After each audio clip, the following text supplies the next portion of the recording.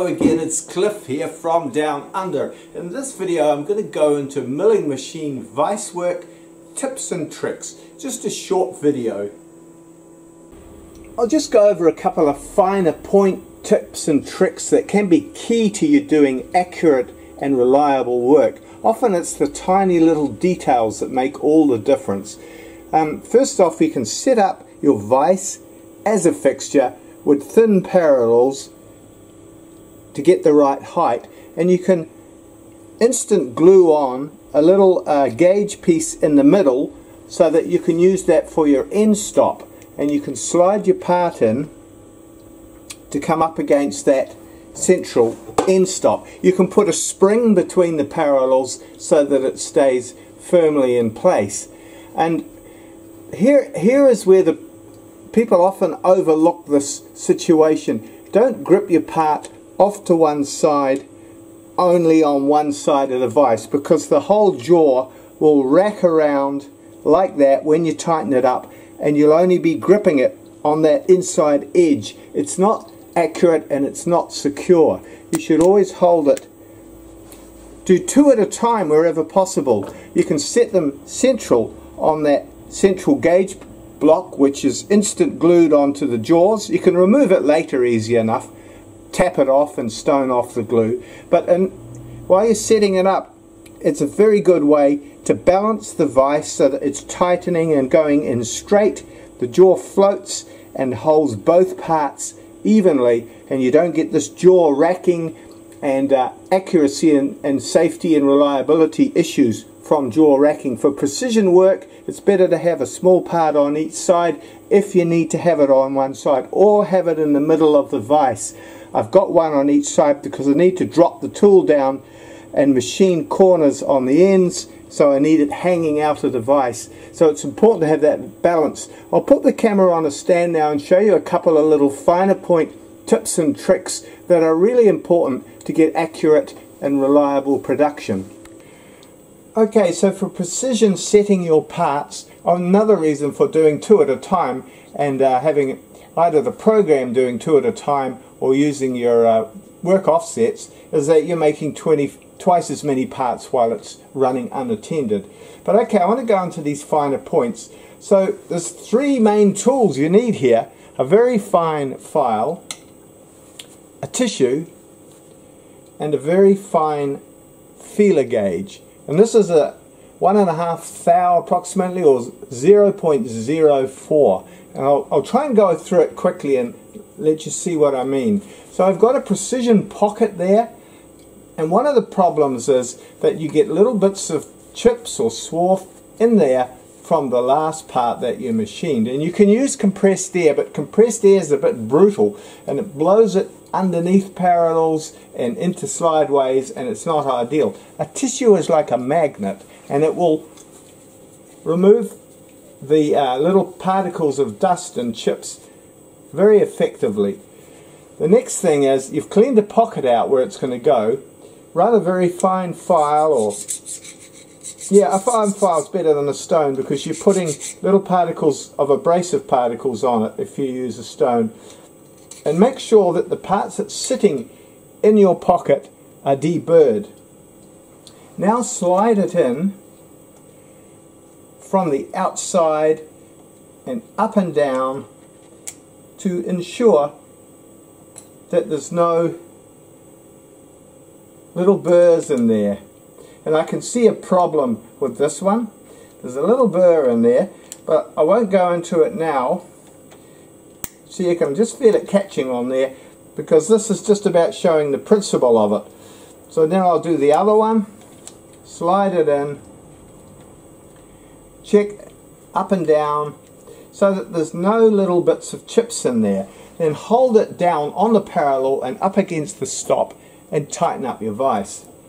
Now as a double check, and this is where a very fine feeler gauge is very good. It's a very thin feeler gauge and you can check it and you see that on an angle underneath the part that it's sitting down on the parallel and on an angle down vertically on the end stop here and here like so to check that it doesn't enter. If it doesn't enter, then you've got it within a thou and a half. And it's amazing how often this will find a fault.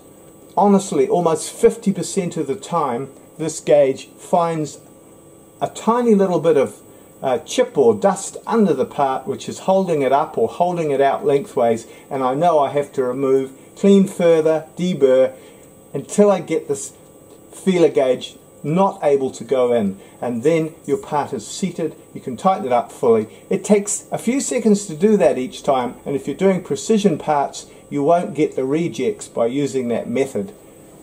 These uh, hallmark lathe tool setter anvils are made out of tool steel and they're later hardened and ground. And that tool steel is pretty tough on cutters. You've got to run it pretty conservatively or you'll quickly wear the tooling out. This is uh, only running at 2400 RPM for a uh, 6 millimeter cutter.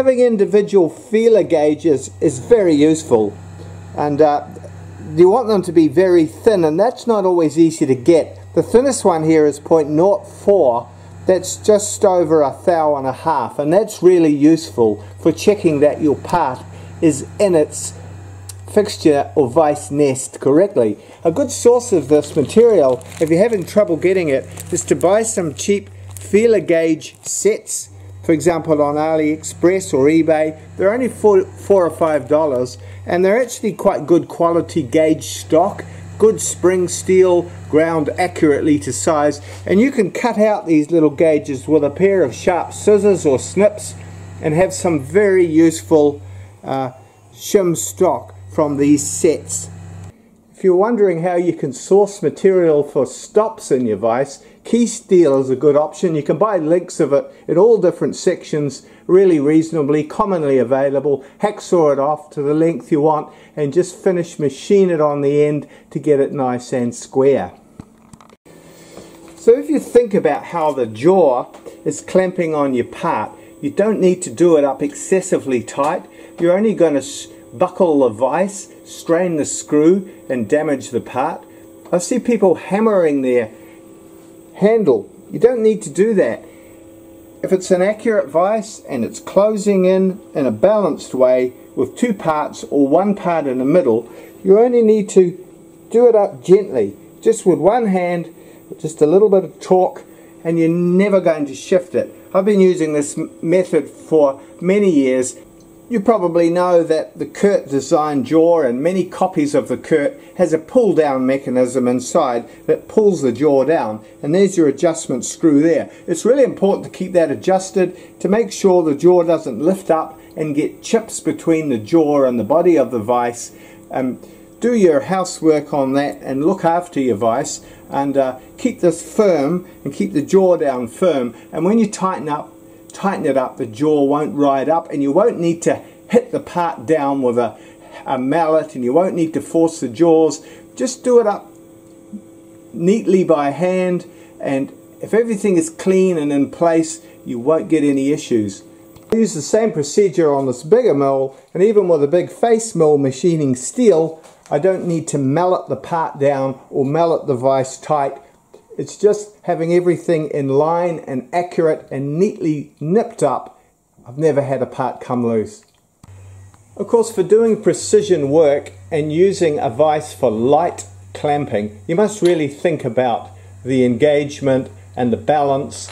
You must really think about how the vise works. You must have the slideways of the vise clean and the surfaces clean. You must get good engagement. You must have the part in the middle or balanced on each side in order to capitalize on the potential of a precision vise and do light clamping and have security and safety and accuracy. I've gone into vice jaw racking in other videos, so, but I'll just throw it in again here in case you've missed it. So quite often you want your part to be hanging out the edge of a vise so that you can drop the cutter down the side or whatever. But the problem with that is that your screw is pushing here in the middle and the whole jaw racks around and you're only gripping on a little edge very insecure. I'll bring this jaw into contact and you can have a look at a dial indicator here. So I've come into contact there. We're now in contact. Now you watch how much the vice jaw racks when I tighten it up. So you're only getting you're getting a gap down this end and you're only getting grip on that corner. You're also probably crushing your part because it's very localized pressure. This is not a secure way to hold your part. You should have another part in this side and if you only have one part put in some sort of a spacer or adjustable spacer so that the vice jaw goes in straight. Or clamp your part in the middle of the vice so that the forces are balanced and use spacer blocks to give you the clearance around your cutter. So one parallel may be held in place underneath your super glued on stop strip against the jaw of the vise. The other parallel may be held in place with a spring to keep the pressure there and hold it in place. So you can have a series of springs. It's worth collecting them that are suitable for small, medium and larger work and that keeps the parallels in place under your work. You don't want your parallels shifting for several reasons. They can get chips underneath them and you may be drilling or machining through the part and you don't want to strike that hardened parallel and it holds the part more securely and accurately if they stay in the correct position. Alright, thanks for watching. I'm trying to do a video like this every couple of weeks, so keep your eye on the channel. Cheers.